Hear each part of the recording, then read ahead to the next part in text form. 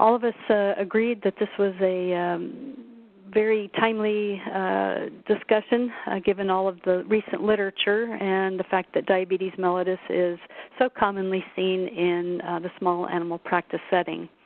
Certainly, clinicians are uh, suspicious of diabetes as a differential in any patient that presents with polyuria, polydipsia, perhaps polyphagia, and weight loss. Clinical pathology findings in these patients are fairly consistent in that uh, they have a hyperglycemia uh, that is often persistent, uh, accompanied by uh, glucose in the urine.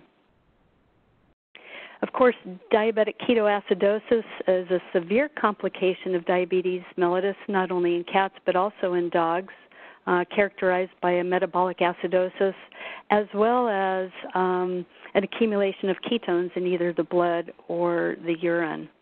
Um, although previous retrospective studies have tried to define risk factors and outcome predictors for DKA in cats, uh, these previous studies have had small patient populations, which makes uh, this paper um, all the more relevant uh, given the fact that they looked at 93 cases um, in cats. So we turn our uh, attention to cats tonight. Um, in this study, uh, the investigators looked at uh, a wide variety of data collected from these 93 cats, including the signalment, um, concurrent diseases that these cats had, uh, a very wide array of clinical pathology that was studied, as well as the treatments that these cats uh, received. And all of this data was examined for any association with uh, the outcome uh, for these particular patients. And in terms of the outcome, uh, there were two possibilities. One was a poor outcome, which meant that the patient died either due to natural causes or due to euthanasia.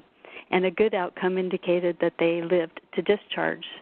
With that, I'm now pleased uh, to pass controls of this uh, space to Dr. Melissa Holahan, who's going to talk to us more about DKA in cats um, Dr. Holahan, um, the floor is now yours, Doctor.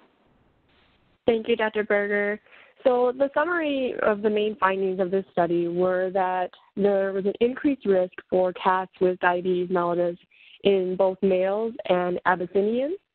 Cats that were more likely to have um, the presence of DKA were those that were young cats, cats again that were Abyssinian or Siamese breeds, and then those cats that were either normal body weight or underweight. And this study also found that there was approximately 18% chance of recurrent episodes in DKA, which I think is always an important thing for us to talk to our clients about when we're approaching these patients because a lot of them are presenting in DKA for the first time and the owners are just now realizing that the cats have diabetes and what's kind of to come from there and what their commitment is.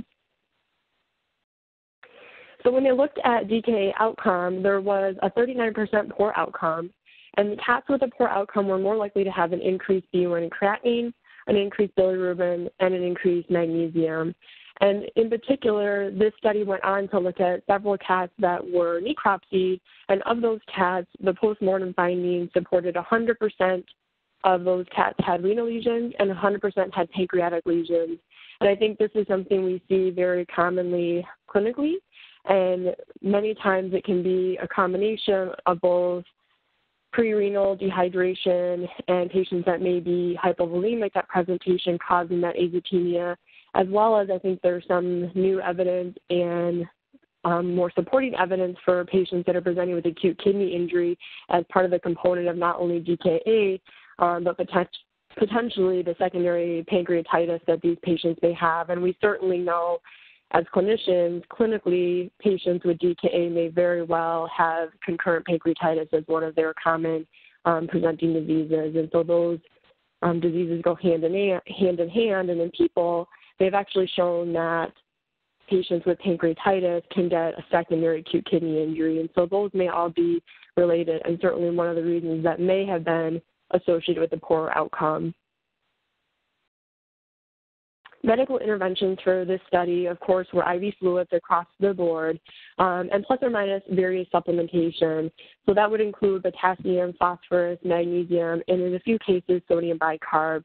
I think in our hospital, our experience with DKA patients is all of them go on potassium to start, and depending on the severity of the patient um, at presentation, they may go on anywhere from 30 milliequivalents up I think in general, the more majority of us start at a minimum of 30 milliequivalents per liter because inevitably those patients typically will have a drop in potassium, and sometimes it's very hard to get their potassium back up um, rather than being proactive about it.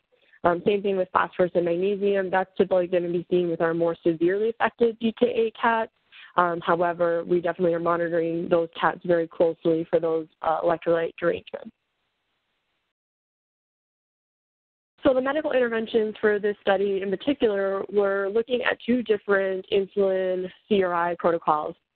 The majority of these patients, because it was a retrospective, um, were in the 1.1 unit per kg per 240 ml category. It's important to note that these patients that were in the lower insulin CRI category, 30% of them actually needed to have an increase in their insulin additives to the fluids.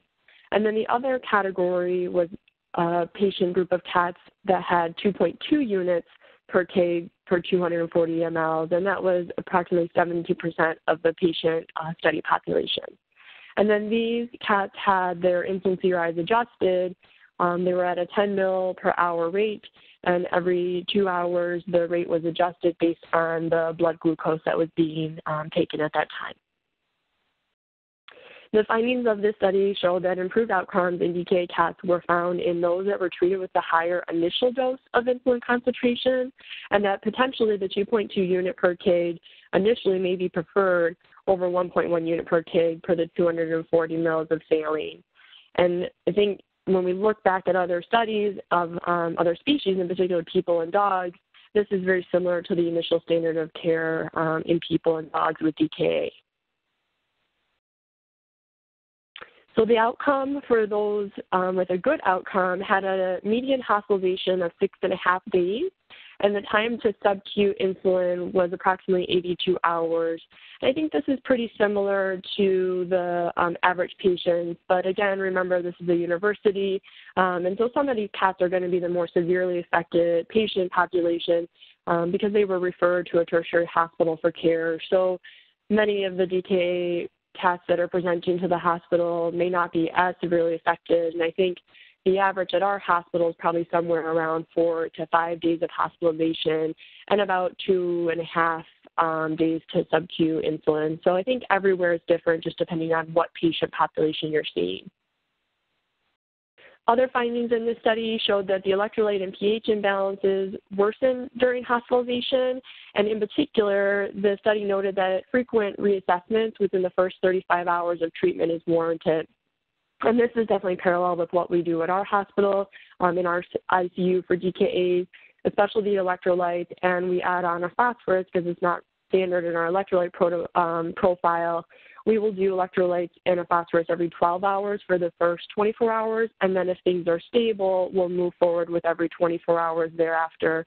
Um, but definitely early on, as you're having those big shifts in the glucose changes, um, with the insulin being added on, you definitely want to take a look at those electrolytes more closely. And in a patient that may be more severely affected or is not responding like you typically would expect, I would encourage you to add on an ionized calcium and, if possible, an ionized magnesium uh, to evaluate those patients further, um, especially those patients where potentially the electrolyte imbalances are not correcting appropriately, even despite aggressive therapy, and or you have a patient that's hypotensive and not responsive to your fluid resuscitation. So DKA test does carry a guarded prognosis, and I think that we have to prepare our clients for this um, on the um, forefront when we're talking to them about hospitalization. And I think 40% does reflect, when you look at a lot of the studies, there are a few other studies that show a better outcome than this current study. Um, but overall, we do need to prepare our clients for um, possible complications with treatment and that it's a, a a big commitment, both in hospitalization stay, potentially some of those cats again having to be in the hospital for a week, as well as long term commitment. But the majority of these cats, just like people, I always remind my clients, can live a, a good quality of life with a, a diabetic cat if, if, it's well managed and follow up is um, done appropriately. And I think that as general practitioners, when you have certain breeds coming into the hospital, it may be important up front when they come in as young cats to educate those clients that both Abyssinian and Siamese cats may have genetic factors that are influencing, influencing a higher risk for diabetes as well as DKA.